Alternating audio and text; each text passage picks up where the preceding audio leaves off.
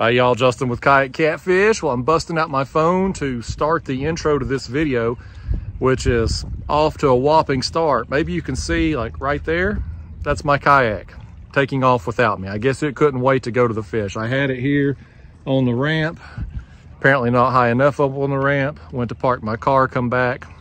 It has drifted off.